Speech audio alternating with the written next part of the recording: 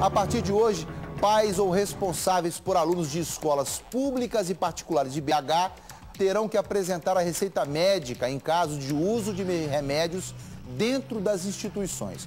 O Rafael Martins está ao vivo e tem os detalhes dessa que é a primeira lei aprovada pelo prefeito Alexandre Caiu. Cali, Caiu, Calil. Não é isso, Rafa?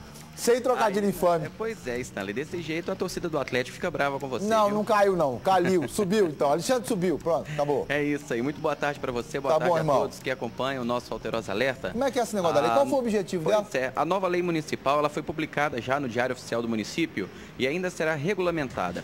Essa lei, Stanley, ela estabelece que seja obrigatório aos responsáveis por crianças ou adolescentes regularmente matriculados nas instituições de ensino público e particular de Belo Horizonte a apresentar cópia juntamente com o original de receitas feitas pelos médicos para remédios a serem ministrados no horário letivo. A cópia, segundo o texto, será anexada ao prontuário do estudante, enquanto o original será devolvido ao responsável.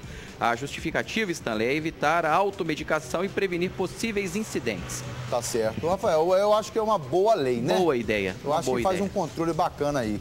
Tudo que vem para somar é importante, né, Stanley? O, o Rafael